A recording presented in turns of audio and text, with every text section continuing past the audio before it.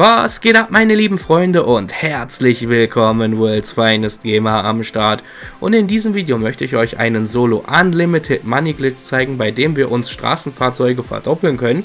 Diesen Glitch habe ich vor einigen Monaten schon mal hochgeladen, aber da ich in letzter Zeit so viele neue Abonnenten bekommen habe, die den Glitch vielleicht noch gar nicht kennen und da dieser Glitch auch immer noch funktioniert, habe ich mir gedacht, lade ich diesen Glitch jetzt an dieser Stelle einfach noch einmal hoch.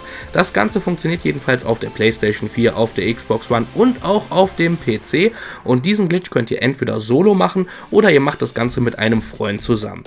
Und wie ihr es auch gerade schon hören könnt, geht es mir wieder ein bisschen besser. Ich bin zwar noch nicht ganz gesund, aber wenigstens kann ich heute schon wieder normal reden, ohne dass ich die ganze Zeit husten muss.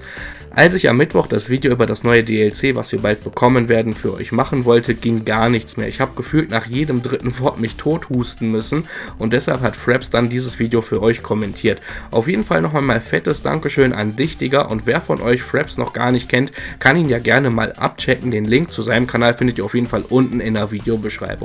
Bevor wir aber nun zum eigentlichen Glitch kommen, vergesst nicht mein aktuelles Unlock All Gewinnspiel, bei dem ihr einen von 10 Unlock All Accounts gewinnen könnt, die ich selber gemoddet habe. Und wenn ihr auch bei diesem Gewinnspiel mitmachen wollt, müsst ihr nur mein Abonnent sein, ihr müsst dieses Video liken und ihr müsst einen Kommentar schreiben, warum ihr gerade gewinnen solltet. Die Auflösung gibt es dann am 4. März und bei jedem Video, was ich bis dahin hochlade, habt ihr die Chance mitzumachen. Und wenn ihr das Ganze einfach bei jedem Video macht, welches ich bis zum 4. März hochlade, ist eure Chance zu gewinnen deutlich höher. So, aber kommen wir jetzt an dieser Stelle mal zum eigentlichen Glitch.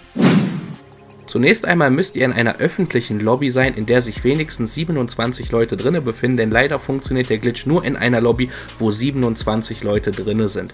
Seid ihr nun in einer solchen Lobby drin, solltet ihr auf jeden Fall in den Passivmodus gehen, damit ihr nicht von den anderen Spielern abgefuckt werdet und dann sucht ihr euch ein Straßenfahrzeug, welches ihr euch verdoppeln wollt und mit diesem fahrt ihr dann zum Los Santos Customs. Seid ihr nun im LSC, ändert ihr einmal kurz die Farbe des Autos und testet dann, ob der Glitch bei euch in dieser Lobby auch wirklich wirklich funktioniert. Normalerweise funktioniert dieser Glitch in jeder Lobby, wo sich wenigstens einmal 27 Leute drinnen befunden haben, aber testet das Ganze erst einmal, denn wir wollen ja nicht, dass ihr jetzt Geld verliert, wenn ihr diesen Glitch macht. Habt ihr das Ganze nun getestet und der Glitch funktioniert in eurer Lobby, fahrt ihr erneut ins LSC und dort tunt ihr nun das Straßenfahrzeug komplett auf. Das heißt, ihr kauft immer das, was am teuersten ist, damit das Auto dann beim Verkauf das meiste Geld einbringt. Das Einzige, was ihr halt nicht machen dürft, ist einen Peilsender Anwender oder eine Vollkaskoversicherung kaufen, denn sonst würde der ganze Glitch nicht mehr funktionieren.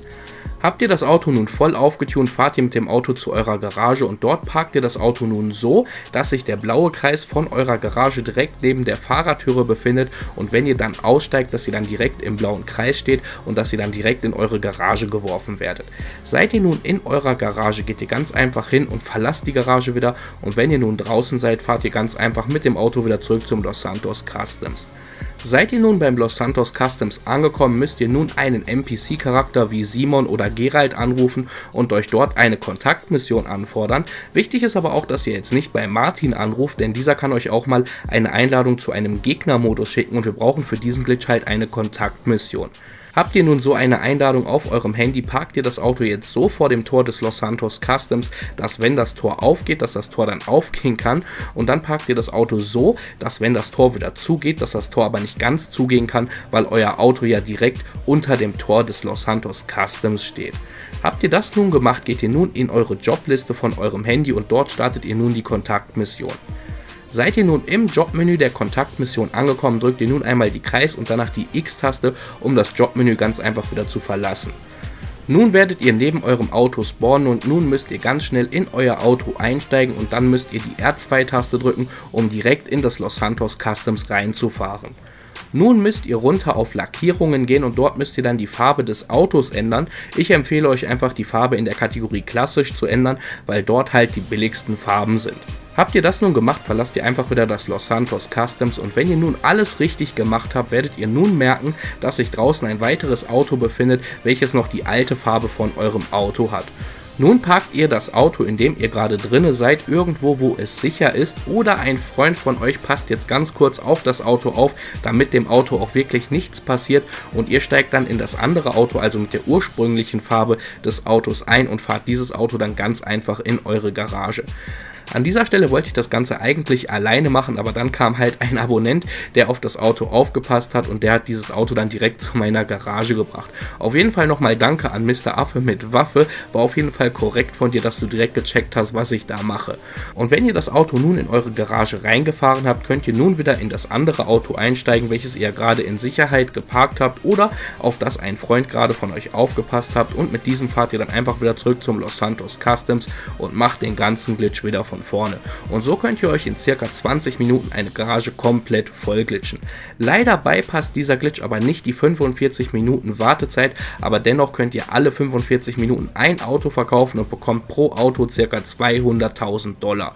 Ich hoffe, ihr habt nun alle diesen Glitch verstanden und von daher bin ich jetzt mal raus. Wenn euch das Video gefallen hat, lasst mir auf jeden Fall ein Like da und wenn du neu auf meinem Kanal bist, dann abonniere mich kostenlos, denn dann verpasst du in Zukunft nie wieder einen krassen Glitch in GTA Online und dann sehen wir uns auch schon im nächsten Video wieder. Bis dahin macht's gut, bleibt gesund, haut rein und ciao.